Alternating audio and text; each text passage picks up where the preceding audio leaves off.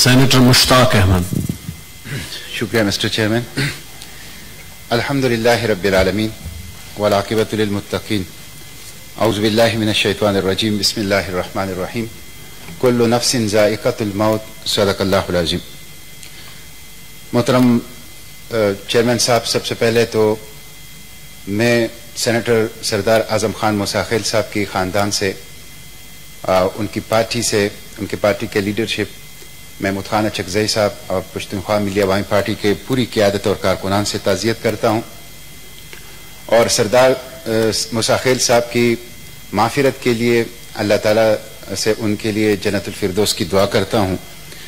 اور میں آپ کا بھی شکریہ ادا کرتا ہوں کہ آپ نے بہت ہی بر وقت ان کے خاندان کو غم اور تکلیف کے اس گھڑی میں سہولت پہنچائی۔ یہ آپ نے اس پوری ایوان کی طرف سے ایک حق ادا کر دیا۔ اور یہ اس بات کا ثبوت ہے کہ اس ایوان اور اس ایوان کے ممبران کے ساتھ آپ کا جو محبت ہے اور جو اخلاص ہے، میں اس پہ آپ کا شکریہ ادا کرتا ہوں۔ محترم چیئرمین صاحب، یہ موت ایک ایسی چیز ہے کہ جو ایک واز ہے ایک نصیحت ہے۔ اللہ نے اپنی کتاب کے اندر فرمایا ہے کہ کل نفس ذائقت الموت، ہر جاندار کو موت کا ذائقہ چکنا ہے۔ موت آئے گی۔ اور سردار صاحب کی موت کا تو ہمیں یقین ہی نہیں آ رہا۔ ابھی کل تک تو ہمارے ساتھ تھے۔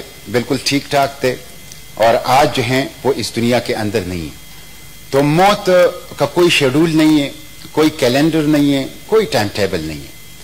اللہ تعالیٰ نے اپنی کتاب کے اندر فرمایا ہے کہ موت ہر بندے کو ہر جگہ آئے گی۔ اے نما تکون یدرک کمل موت ولو کن تم فی بروجم مشیدہ۔ تم موت سے چھپ نہیں سکتے۔ اگر تم ایک ایسے قلعے کے اندر ہو کہ جس کی بڑی مضبوط دیواریں ہوں، تب بھی موت تم تک پہنچے گی۔ اور اسی طرح قرآن پاک نے ہمیں بتایا ہے کہ فَإِذَا جَاءَ أَجَلْهُمْ لَا يَسْتَأْخِرُونَ سَاعَةً وَلَا يَسْتَقْدِمُونَ کہ جب وہ مقرر ٹائم آ جاتا ہے تو نہ اس میں تاخیر ہوتی ہے اور نہ تقدیم ہوتی ہے۔ تو یہ اللہ تعالیٰ نے ان کے لیے مقرر کیا تھا۔ ہم ان کی معافیت کی دعا کرتے ہیں، ان کے خاندان سے تعزیت کرتے ہیں۔ جہاں تک سردار صاحب کی ذات اور شخصیت کا تعلق ہے، وہ دو ہزار دو سے دو ہزار آٹھ تک صوبائی اسمبلی کے ممبر رہے، بلوچستان صوبائی اسمبلی کے۔ اور دو ہزار پندرہ سے وہ سینٹ آف پاکستان کے ممبر تھے۔ پختونخوا ملی عوامی پارٹی کے وہ محمود خان چکزئی صاحب کی سربراہی میں سینئر نائب صدر تھے۔ اور سچی بات یہ ہے کہ میں نے ان چند مہینوں کے اندر اس ایوان کے اندر جو ان کو دیکھا ہے، تو ان کی شخصیت، خوبیوں کی اور عظمت کا ایک نمونہ ہے۔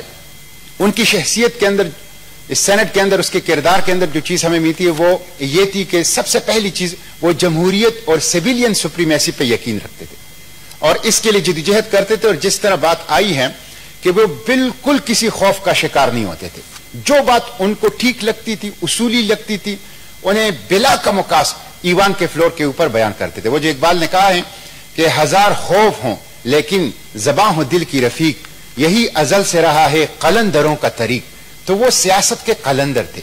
ایک ایسے زمانے میں کہ جب سیاست، عبادت کے بجائے تجارت بن گئی ہے، انہوں نے اصولوں کا پرچم اٹھائے رکھا۔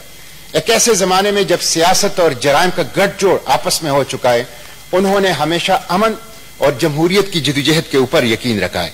وہ پاکستان کے استحکام کے دائی تھے، لیکن پاکستان کے استحکام وہ پاکستان کی اکائیوں کی مضبوطی پاکستان کی اکائیوں کی حقوق کی فراہمی اور پاکستان کی اکائیوں کے اپنے وسائل کے اوپر اختیار کے ذریعے سے وہ پاکستان کے استحکام اور ترقی کے قائل تھے۔ اور میں اپنی بہن کی اس بات سے بالکل اتفاق کرتا ہوں کہ پانچ وقت کے نمازی تھے۔